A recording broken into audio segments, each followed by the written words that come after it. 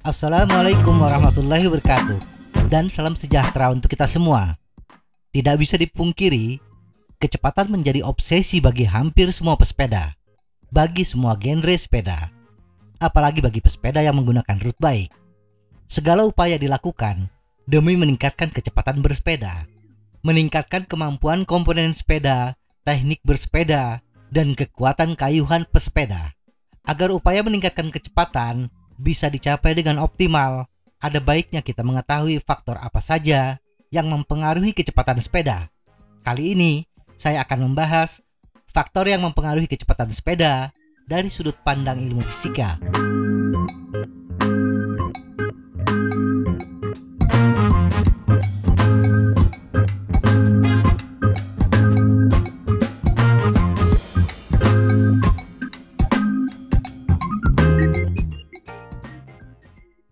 Power dan kecepatan.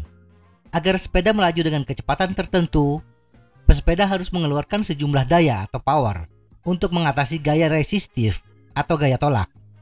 Power yang harus dikerahkan pesepeda adalah hasil kali antara gaya tolak dengan kecepatan. Atau untuk menghasilkan kecepatan tertentu, maka gaya atau power dibagi oleh gaya tolak. Ada tiga gaya tolak yang harus diatasi oleh pesepeda, yaitu gaya gravitasi, rolling resistance, dan aerodynamic drag atau hambatan udara. Pesepeda harus mengatasi gaya gravitasi ketika melintasi jalur yang menanjak, tetapi akan menjadi penambah kecepatan ketika bersepeda di turunan. Sedangkan di jalan datar, gaya gravitasi tidak mempengaruhi kecepatan sepeda. Gaya gravitasi dirumuskan sebagai hasil perkalian antara konstanta gravitasi, sinus kemiringan jalan, dan berat total pesepeda, sepeda, dan perbekalan. Sedangkan rolling resistance harus diatasi untuk seluruh medan bersepeda. Gaya ini adalah hasil perkalian antara koefisien gaya gesek, konstanta gravitasi, kosinus kemiringan jalan, dan berat total. Sedangkan hambatan udara adalah setengah dari hasil perkalian antara koefisien drag, luas penampang depan, kepadatan udara, dan kuadrat kecepatan. Hasil perkalian total gaya tolak dengan kecepatan tersebut adalah power yang harus dikerahkan ke pedal sepeda. Tetapi gaya tersebut akan mengalami pengurangan ketika disalurkan dari pedal ke roda belakang. Yang mengurangi daya tersebut adalah mechanical resistance, yaitu gaya gesek drivetrain, seperti biring, rantai, dan lain-lain. Tidak ada rumus tertentu untuk menghitung mechanical resistance, biasanya mengurangi sekitar 2% dengan asumsi sepeda memiliki drivetrain yang bersih dan dilumasi dengan baik.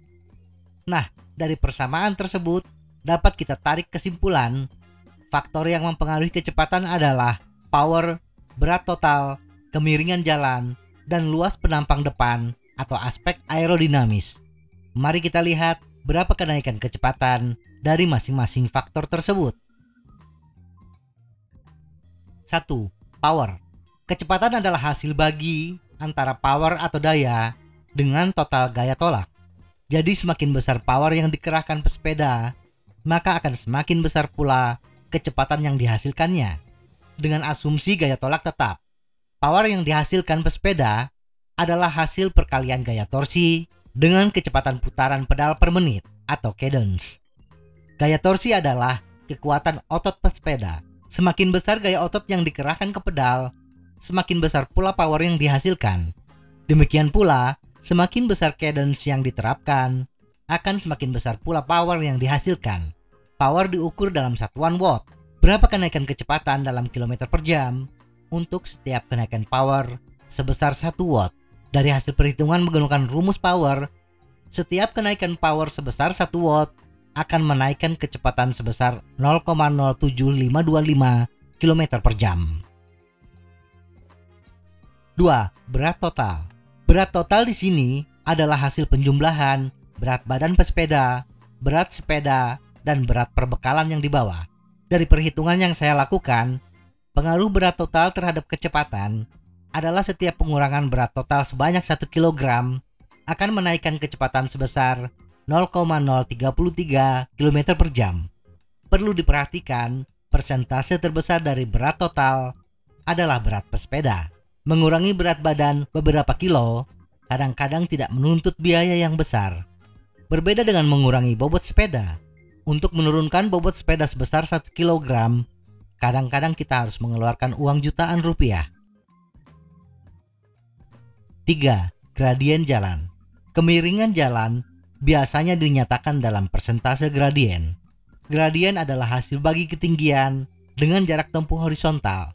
Misalnya jalur mengalami kenaikan sebesar 15 meter dalam jarak horizontal 100 meter, maka jalur tersebut memiliki gradien 15%.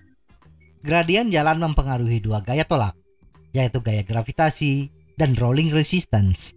Ketika di jalan datar, gaya gravitasi sama dengan nol karena sudut kemiringannya 0%, di mana sinus 0 sama dengan 0. Tetapi gaya gravitasi dan rolling resistance akan bertambah seiring naiknya kemiringan jalan. Dari perhitungan saya, setiap kenaikan gradien jalan 1% untuk gradien di bawah 5%, rata-rata turun 3,76 km per jam. Gradien 5-10% akan turun rata-rata 1,4 km per jam dan gradien di atas 10%, rata-rata kecepatan turun 0,5 km per jam. Semakin tinggi gradien jalan, setiap kenaikan 1%, penurunan kecepatan pun tidak terlalu banyak bila sepeda dikayuh dengan power yang sama. 4. Rolling resistance. Faktor yang turut mempengaruhi nilai rolling resistance adalah koefisien rolling resistance. Banyak faktor yang mempengaruhi nilai koefisien ini seperti tekanan ban, jenis ban, jenis permukaan jalan, dan lain-lain. Dari sekian banyak faktor tersebut, saya mengambil contoh dua ban yang memiliki koefisien yang berbeda, yaitu Victoria Corsa Speed G Plus 2.0 dan Continental Grand Prix 5000. Victoria memiliki koefisien 0,0021, sehingga untuk perhitungan kecepatan dengan berat total tertentu, kecepatan yang dihasilkannya adalah 31,55 km per jam. Sedangkan Continental dengan koefisien 0,003 hanya memiliki kecepatan 31,08 km per jam. Selisih 0,47 km per jam. 5.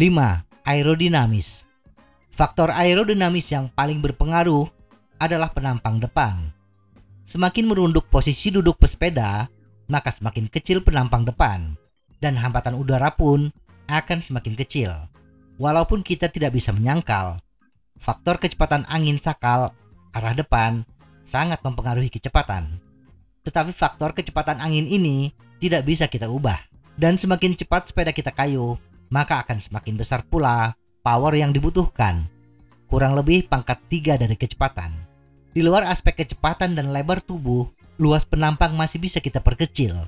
Dengan memperkecil tinggi pesepeda, yaitu dengan cara duduk pada posisi aerodinamis, merunduk. Dari perhitungan kecepatan yang saya lakukan, atas beberapa posisi yang umum dikenal oleh pesepeda road bike adalah sebagai berikut.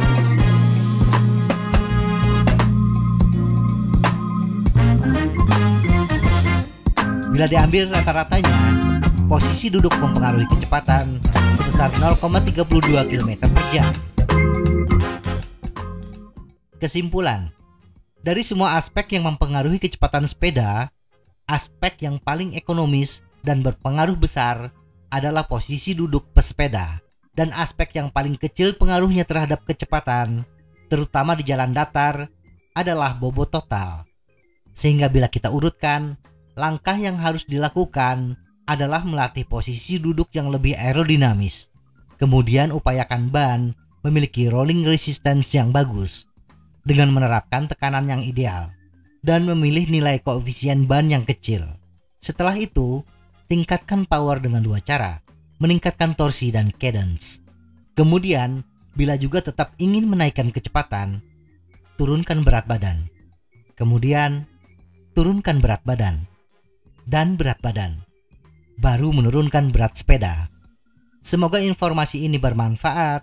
Tetap sehat. Salam goes.